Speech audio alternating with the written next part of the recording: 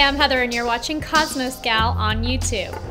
Hey, Scorpio, here's your horoscope for Sunday, November 18th, 2012. You'll strive to be of service to others, Scorpio. Spread good karma by paying it forward to someone else today. Thanks for tuning in. I'll see you tomorrow.